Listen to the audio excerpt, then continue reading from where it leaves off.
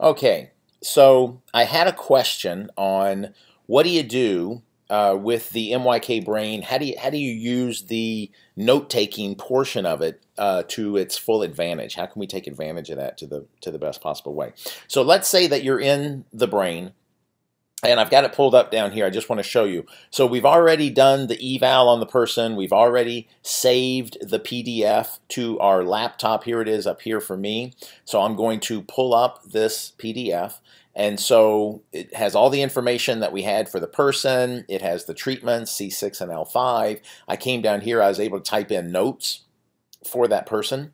And so what we're going to do to fully use this to, to the best uh, ability that we can here. You can click on one of these two um, video links here. And what I'm going to do is I'm going to move this off to the side just a little bit, and I'm going to pull this up just so you can see what happens here. So I'm going to click on this, and when I do, it's going to take me back into the brain.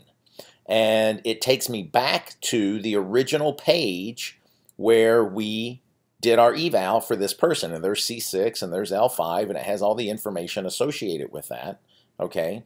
And so what I'm going to do is I'm going to hit save the treatment page. So I'm going to save the treatment page and it's going to take two to three minutes okay for that to come over.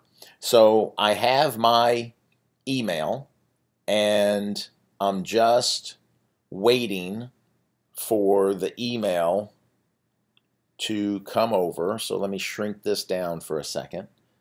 And I'm checking my phone just to see when it when it finally comes over here.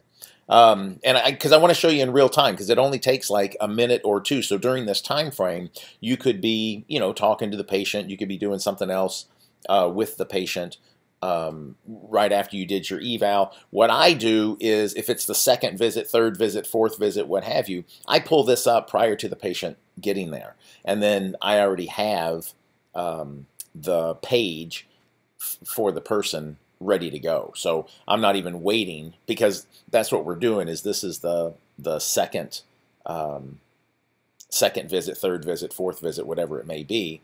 And so we're just waiting for um, the patient to come in, and then we can input the, the new information. So, of course, it's going to take a little bit longer while I'm filming it. So we're just checking it out here. Let's see. Ah, there, it came through. Okay, so I'm going to hit refresh here. And there's the MYK brain right there. So I'm going to click on it. So I have a Mac, so I have to download this. Okay, so here it is. Now, here's the thing. So if you look over here under date and time, this is coming from the original eval that we did, okay? And then up here at the top, it gives us the actual date. So now what I'm going to do is I'm going to save this. So I'm going to hit, well, I have to export it, all right, but save as, right? I'm going to do it to the desktop. I'm going to take MYK brain treatment out of this, and I'm going to put John Smith, because that's my patient name, and it gives me the date. So today's date, the 4th, right? So I'm going to save this, all right, so now I've saved the PDF. So let's say that we're, we're pulling it up. Um, well, even if we're not, well, that still says that. Let me get out of that. Boom. All right, so this is the original. I'm going to get out of that. Boom. That's the email. We're going to shrink that down. There's the thing. We're going to shrink that down. Here is the new PDF that we just made. So I'm going to double click it here. So it says John Smith on January 4th. All right, so now it has all of our eval information over here on the left. Um, it still has the April 22nd because that's when we did all the evals, but this is today's date, January 4th. And so I'm going to come down here to notes, and we got to click, and there's a little box. And then I can say, hey, guess what? Um, you know, the patient entered today uh, feeling, you know, better. Um, and, and whatever notes we want to type. And you can type you can fill up this whole page, this this whole page down here. You can just type and type and type as much as you want.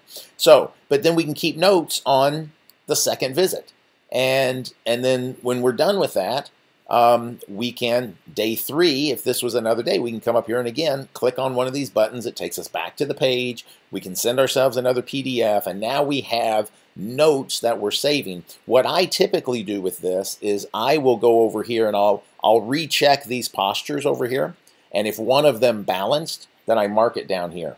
and I'll say, hey, you know, the patient entered today feeling better, um, and his, uh, let's go with his scapula, uh, the scapula uh, was balanced uh, today. And so maybe next time what I'll do, uh, I'll, I'll do that two or three times until I can get another couple of postures to balance, and then I may do another re-eval to see if it puts us into a different treatment level um, or if we're just feeling better because as we know, as the postures start to balance, the patient should start to feel better. But that's how I kind of go through and use this information. So that was one of the questions I had was how can we use this note-taking portion of it um, easier? And so that's kind of how I do it. So hopefully that helps.